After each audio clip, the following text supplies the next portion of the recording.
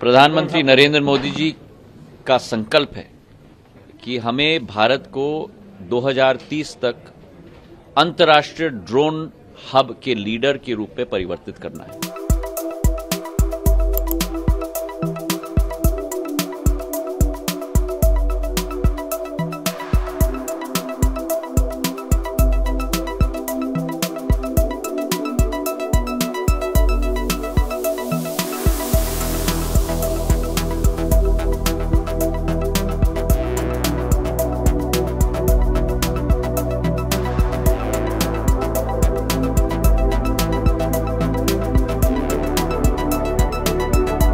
हमें देश का नेतृत्व नहीं, लेकिन विश्व का नेतृत्व इस क्षेत्र में करना है। और नीति आयोग के सीईओ अमिताभ कांत जी के साथ हमारा मंत्रालय मिलकर कार्य कर रहा है। जैसे मैंने कहा कि तीन पहियों के आधार पर इस क्षेत्र को हम आगे ले जा रहे हैं। पहला पहिया है पॉलिसी का, और आप लोग ने स्वयं देखा है कि किस तीव्र गति से क्रियान्वयन हम लोग पॉलिसी के कर रहे हैं। उसी के साथ दूसरा पहिया है इंसेंटिव क्रिएट करने के लिए। और पीएलआई स्कीम जो प्रधानमंत्री जी के नेतृत्व में हम लोग ने क्रियान्वयन किया है, उससे मैन्युफैक्चरिंग को भी और सर्विसेज़ को भी एक नया प्रोत्साहन मिलेगा। और तीसरा पहिया है, स्वतः डिमांड क्रिएट करना। और भारत सरकार के 12 मिनिस्ट्रीज ने वो डिमांड क्रिएट करने की कोशिश की है।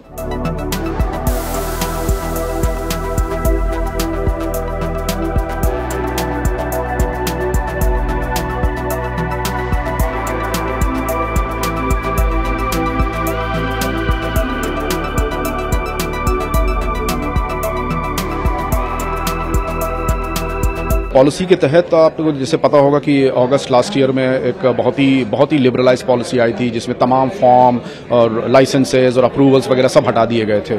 और है ना, पच्चीस फॉर्म से पाँच फॉर्म कर दिए गए। बहत्तर किस्म की फ़ीस होती थी, अब सिर्फ़ चार तरह की फ़ीस होती है। कई कई हज़ारों की फ़ीस होती है वो सौ सौ रुपये की फ़ीस हो गई है। तो उसको सिंप्लीफाई किया गया। उसी के तीन हफ़्ते के अंदर सरकार ने पीएलआई स्कीम कैबिनेट ने इसको अप्रूव किया था, जिसके तहत हम 120 करोड़ रुपए तीन साल में सारे ड्रोन मैन्युफैक्चरर्स को देंगे। वो इसका एक पर्टिकुलर फार्मूला उसके बेसिस पर। और ड्रोन रूल्स आने के एक महीने के भीतर ही सितंबर के एंड में हमने ड्रोन का एयर स्पेस मैप भी रिलीज़ किया था, जिसमें कि 90 प्रतिशत भारत का जो लैंड मास है, अब वो ग्रीन जोन डिक्लेयर हो गया। पहले सिर्फ़ 20-30 परसेंट हुआ करता था तो उसको बढ़ा के ऑलमोस्ट 90 प्रतिशत को ग्रीन जोन कर दिया गया है। और ज़्यादातर ड्रोन जो ड्रोन के ऑपरेशन हैं, वो मोस्टली सौ दो फीट पे होते हैं, और एयर स्पेस मैप में हमने 400 फीट तक को ग्रीन जोन डिक्लेयर कर दिया था।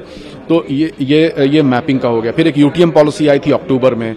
फिर हमने जनवरी में ये ड्रोन सर्टिफिकेशन स्कीम निकाली थी, जिसके तहत आप कोई भी जो नया हमारा युवा स्टार्टअप है, वो ड्रोन अगर बनाता है तो वो ये डिजिटल स्काई प्लेटफॉर्म आ रहा है, उसके ऊपर अप्लाई करके टाइप सर्टिफिकेट ले सकता है। और एक बार वो टाइप सर्टिफिकेट मिल गया तो उसके बाद वो अनगिनत ड्रोन मैन्युफैक्चर कर सकता है, ठीक है? और उसको खुद ही सेल्फ जनरेट कर सकता है, उसका रजिस्ट्रेशन नंबर तो बिना टाइप सर्टिफिकेट और रजिस्ट्रेशन नंबर के आप ड्रोन बेच नहीं सकते। तो ये छब्बीस जनवरी को हुआ।